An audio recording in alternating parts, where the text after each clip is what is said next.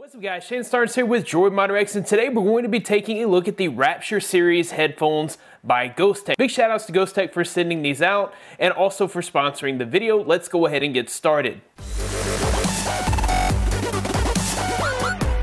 First up, we'll just kind of run down on the specs here. It's got a set of 40 millimeter graphene drivers. It's equipped with Bluetooth 4.1 plus EDR and aptX audio technology. This does include a 3.5 millimeter audio jack in case you would prefer wired over Bluetooth. It also includes a built-in HD microphone so that you can make and receive calls. It does come in several colors, including black, brown, and red. First up, we'll talk about design and durability. I was pleasantly surprised with the build quality of these headphones. We've got aluminum on the side and also in the hinges. The top of the headband is covered in protein leather and has a bit of cushion as well to give you a little bit more comfort. And the ear cups, they're also covered in protein leather. I didn't really know what to expect from the flat ear cups, but they kind of differ from the traditional on-ear headphone. It doesn't feel like your ears try to sink into the ear cups like they do on some other versions. I kind of like the fact that they are flat and they sit nice and comfortably on top of your ear. I also like the attention to detail here. The Ghostek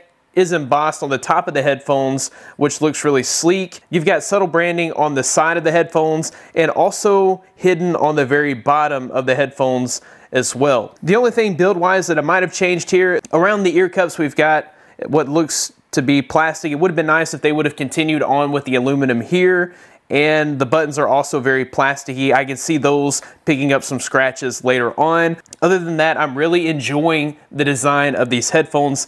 They look great and they're super comfortable. Next up, we'll talk about the comfort of the headphones.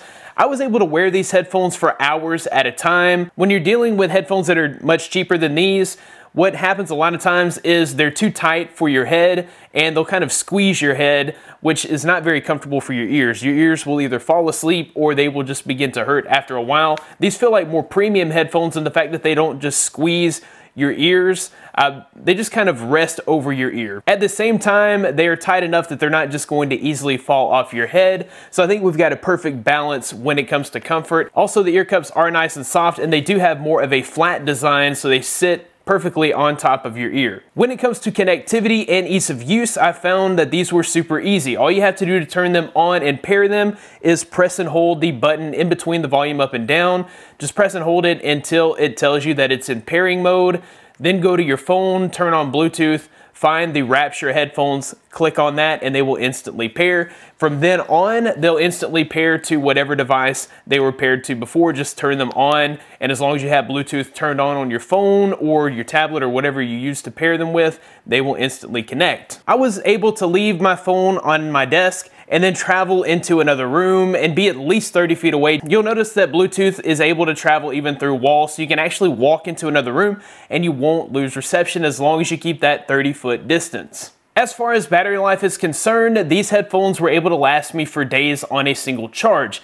They advertise up to 1,000 hours of standby time, so you can actually leave them on and not have to worry about charging them, so it's not a big deal if you forget to turn them off. They also advertise 25 hours of talk time, so if you're talking on the phone, you should expect about 25 hours of use and about 23 hours of use when you are playing music. I found that if I used these headphones for a couple hours per night and made sure to turn them off, I was able to get tons of use out of them before having to recharge them. One thing that I really loved about these headphones that I haven't seen on any other headphones is they do include an LED indicator for your battery life. This is something that Google has tried to address in building it into Bluetooth on Android where it actually shows you your percentage on your devices.